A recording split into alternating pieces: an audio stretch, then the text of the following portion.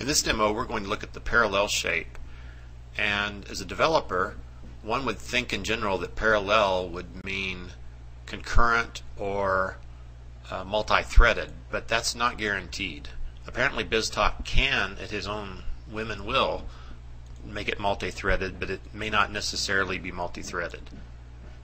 So what we're going to do is we're going to put a debug here we're just going to put a bunch of expression shapes. What I've, what I've actually done here is created a separate orchestration just to prove this point called parallel demo. And I just receive a little dummy starter message to kick off the orchestration. So that needs to be my activating receive here.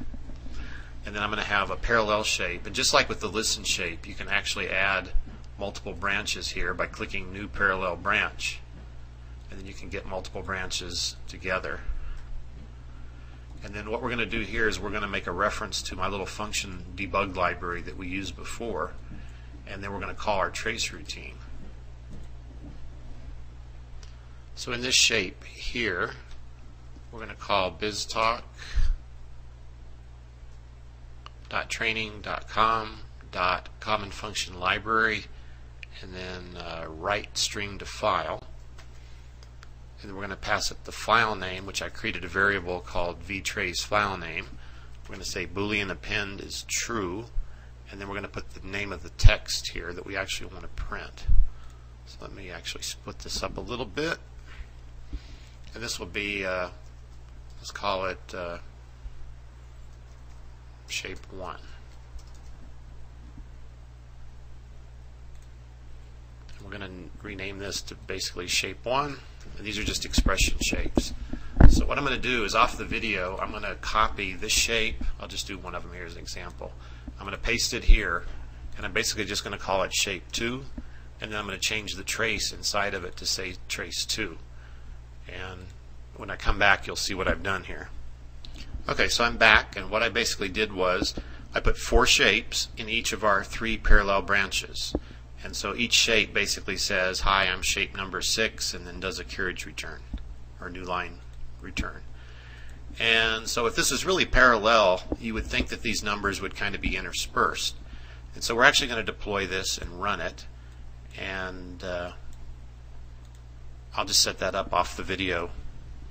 So to get this orchestration to start, what I did, by the way, was I created a little tiny schema here called start parallel demo and I just generated a small test file and that's enough basically when I drop that message it will be this activating receive right here and then that will cause this orchestration to run and then each of these traces will print and then I have a final trace at the end. So I set up a receive location here called, I have a new application called Parallel Demo and I set up a receive port and a receive location which we need to start, enable. Okay, then we're going to go drop the file to start that orchestration. So I created here a file drop, and I'm going to drop the start parallel traced instance file here.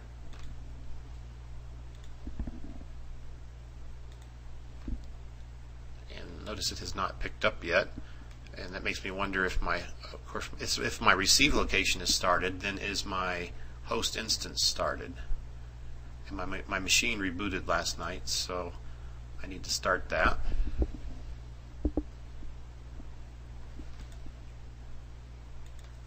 And there the file goes. We'll check HAT first just to make sure orchestration really started. And I got our famous error that there were no subscribers, and that again I made a mistake. I didn't go to orchestrations and I didn't bind or start my orchestration. So we need to go to properties bindings and I need to give it the host and I need to tie the internal port to the new physical port that I just created called receive parallel starter message. And now I'll start the orchestration. And now when I drop the message again I should have a subscriber for it. Okay now I see it started. I drop the file again back to HAT and we can see the file was received at 1231 and the orchestration completed. So the trace for the orchestration is supposed to go here and then we open that and you can see what happened. You see shape 1, 2, 3, 4, 5, 6, 7, 8, 9, 10, 11, 12. Now, if that were really parallel, you would think that occasionally, maybe, one of these messages would appear before one of these messages, right? So you can tell that this is, it's more of a logical business parallel than it is a multi-threading parallel. Now, just to kind of prove our point a little bit further, let's stick a little delay shape right here. So after shape 2, we want to delay maybe a second. So we have uh, here these different constructors again. We have hours, minutes, seconds. So 0 hours, 0 minutes, and let's do 10 seconds. Okay, so we put our delay here, delay 10 secs. Okay, now I want to test the orchestration again, so I will redeploy it. Again, while it's redeploying, I'm going to restart my host instance to pick up the new copy.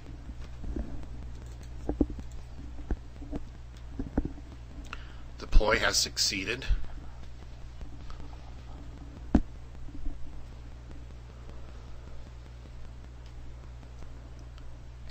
And I use the same trace name every time here, so I'm going to delete that trace. And we're going to go back up to the file drop. We'll drop our test file.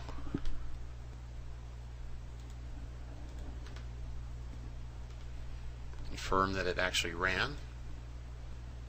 And the orchestration started but not, did not complete yet. That's because we have the 10 second delay, right?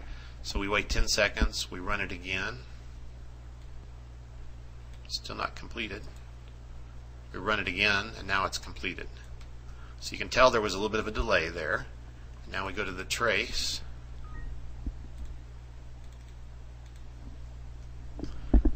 And what do you see now? You do see shape 1, 2, and then since there was a delay of 10 seconds, now you do see a little bit of kind of a parallel going on. So now shapes 5, 6, 7, 8, 9, 10, 11, 12 ran, and then after the delay, it kind of came back and ran shape 3 and 4, and then we closed the orchestration. So what this shows us is, let's go back to the source code, that if you have a delay here we saw that it actually does pause this branch and allows other branches to run.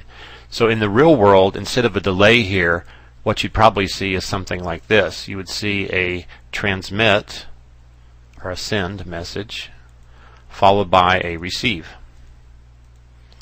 Okay, so the receive in effect takes the place of the 10 second delay because you might call a web service and that web service then might take 30 seconds to answer. So while BizTalk is waiting on this receive, the concept is you can go run these other branches. And so it may also be then that you have a, uh, let me just show you one thing you can do here too. You could put these in a group. And let's say this was, uh, you know, call web service 1. And then maybe in the second branch here, you'll have call web service 2. And In the third branch somewhere you'll have call web service 3. And so now the idea is you can get more throughput by calling all three web services kind of at the same time. So after this send goes, this is going to kind of pause while waiting on an answer. And then there's a good chance this shape will start running, and then it will call the second web service. And then while that's waiting, the third branch could actually start and then call the third web service and then the receives will come back in whatever order that potentially those web services finish. So if this was a 10 second web service and this was a 1 second web service, this receive could come back and maybe this this branch with shape 12 would finish first. And anyway, all three branches would eventually finish. But the point is you don't necessarily get multiple threads when you do a parallel shape. If you really want multi-processing or parallel threads, what you could actually do here is use the start orchestration shape. Uh, in a prior video we talked about call orchestration and we briefly mentioned start orchestration. So you can actually start a different orchestration here and then the things would all, all three orchestrations would be running in parallel. And then you can actually this this start orchest the orchestration that you started can actually send a message back to this orchestration. So that's kind of an alternative way of doing parallel is that let me just show you here. You would actually have like a receive, and you'd have to do correlation to do this. So you would start an orchestration, and you can actually pass what's called a direct binding port, and we'll probably do that in a future video. And that orchestration runs, and when it's done, it sends a message back here, and then this receive then is basically kind of like says, I got the answer back from the orchestration I started. And then you continue your flow on down. So that concludes this video and demonstration on the parallel shape.